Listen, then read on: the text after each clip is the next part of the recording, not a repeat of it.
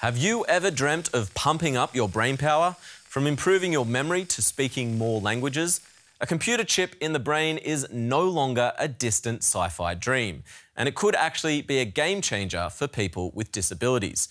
Just recently, a paraplegic man was able to walk again with help from brain implants. And some chips these days even contain human brain cells. AI chips and the brain. That's our topic on Shift.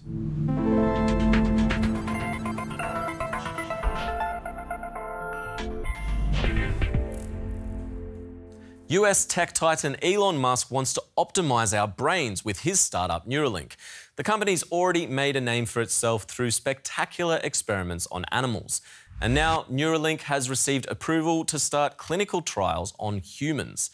And in Switzerland, scientists have helped a paraplegic man walk again using brain implants and AI. Take a look. His life has been altered dramatically for the second time Thanks to an experimental procedure linking the brain to the spine with a digital bridge, a paralyzed man is able to walk again. Within five to 10 minutes, I could control my uh, hips. The brain uh, implant uh, picked up what I was doing with my hips, so that was like yeah, the best outcome, I think, for everyone. After an accident in 2011, Gert-Jan Oskam was paralyzed in both legs doctors operated to implant electrodes in the 40-year-old's brain and spine. There is one surgery at the level of the brain. We do two little craniotomy, put electrodes in order to record the brain signal.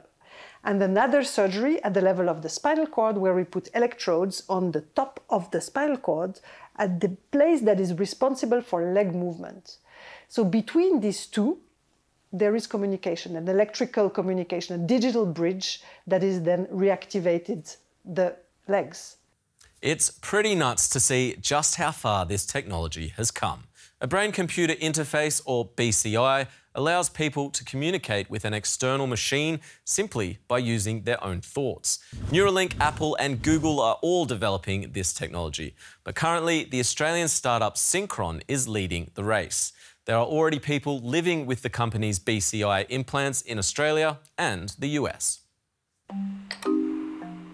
Sending an email using thoughts alone. Philip O'Keefe has a nervous system disease known as ALS and can't use his hands or speak clearly. A brain computer interface gives him a way to communicate. Previously, to communicate, we've either used our voices or our hands, and, and now there's an opportunity where if you if you don't have control over either, you can still communicate. You can use a phone to send text messages. You can use an email to send, um, you know, stories or letters to loved ones. The Stentrode was first implanted in a human in 2019. Stentrode is transported to the brain through blood vessels, which means open brain surgery is not required. The Stentrode is unique in that unlike a lot of other technologies, ours uh, takes advantage of the naturally occurring highway of the body, the, the blood vessels, to, to get into the brain uh, without having to do really risky invasive surgery. The stentrode captures brain signals and transmits them through the blood vessels into a unit implanted in the patient's chest. This unit then sends the electrical signals to a computer or other device. The external system looks at the activity, the electrical activity. Um, it has a database of um, kind of pre-recorded movements that uh, a patient has been trained to um, activate and that the system has been trained to recognize. Um, and essentially, if it sees something the patient is intending to do, um, like a specific movement, it will then um, uh, send a, a, kind of an output uh, pulse, which can be used to activate a computer control or else something like a, an ex exoskeleton. Synchron's technology is still in the trial phase, but their work gives hope to people with paralysis or other disabilities. Brain computer interfaces could also be used by people without physical disabilities. Elon Musk has predicted that one day we could be controlling our smartphones with devices in our brains. While Synchron's work focuses on developing BCIs for medical use, this technology could also be applied to many other areas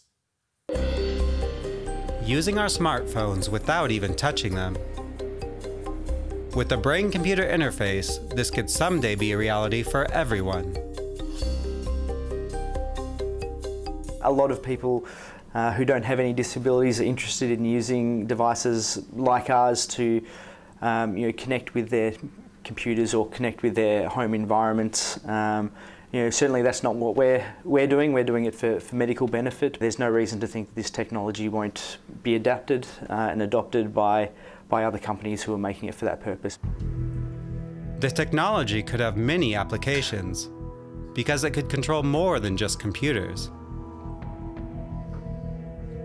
Essentially everything and anything, anything electronic at all. Um, currently we're using it to um, kind of enable patients to use a, a, communication device, but this could also be put towards something like um, um smart home systems if you wanted to turn on your, your lights, um, or if you needed to control uh, a wheelchair or other kind of assistive technologies. While some dream of using brain-computer interfaces for human augmentation, Synchron solely focuses on medical applications and there is much to be explored in the field. So far, the Stentrode is only recording signals from the brain.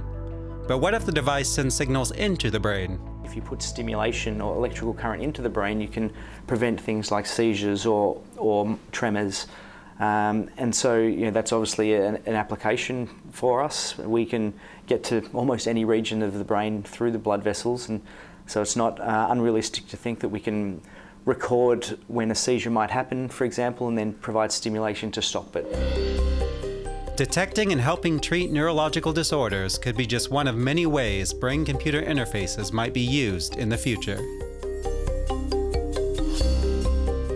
Computer chips are used in a variety of technologies such as virtual reality or artificial intelligence. They need to be quick and ideally use as little energy as possible. Cortical Labs, a startup from Melbourne, modelled its chips on the fastest and most energy efficient computer out there, the human brain. The system is called DishBrain and combines silicon chips with human neurons. A computer chip that needs to be fed with unusual sustenance. The DishBrain receives human brain cells, so this chip is somewhat alive. They're certainly alive in the sense that these are living biological neurons on the chip. That doesn't mean, of course, that they're conscious or like a human in a dish, but it does mean that we can use them to be able to test for stuff like the effects that drugs might have on them or model how diseases are. Unlike other companies that try to recreate neural networks, Cortical Labs uses real human brain cells.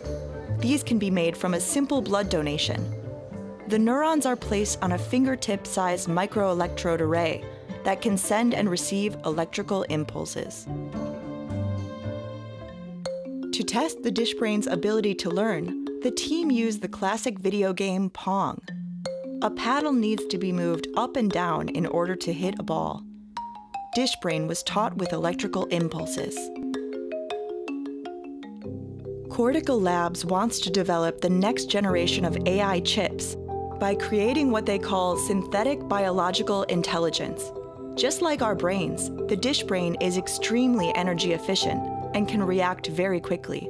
And that's thanks to evolution.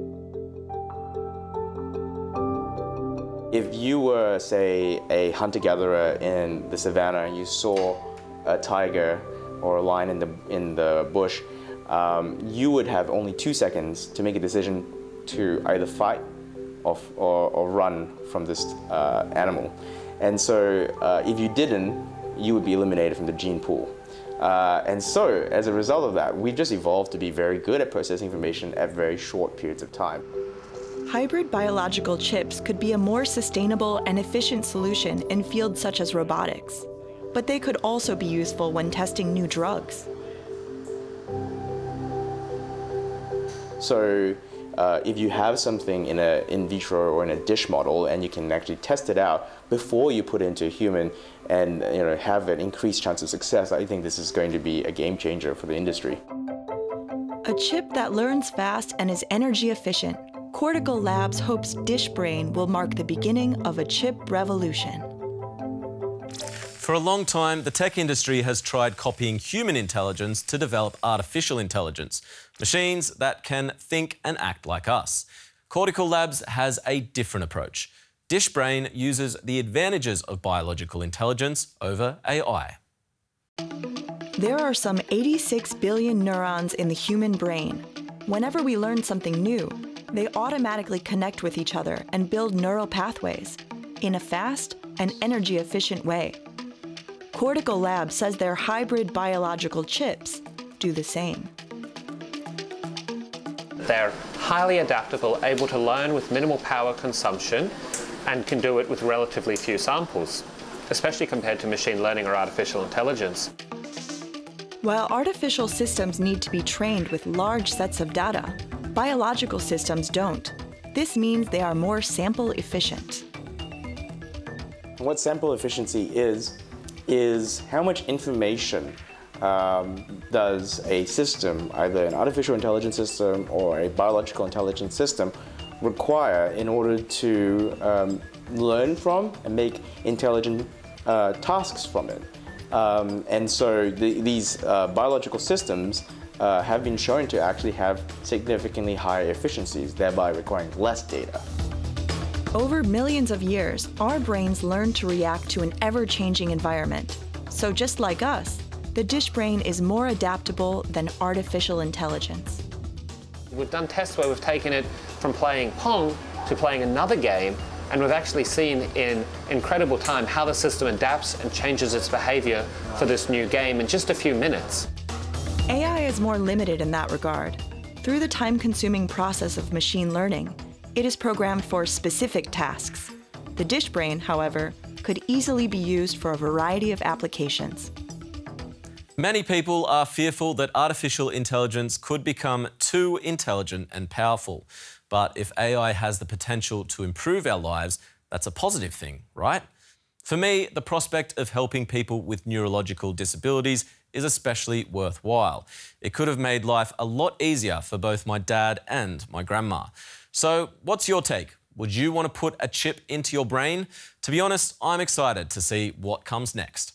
Thanks for watching and see you next time.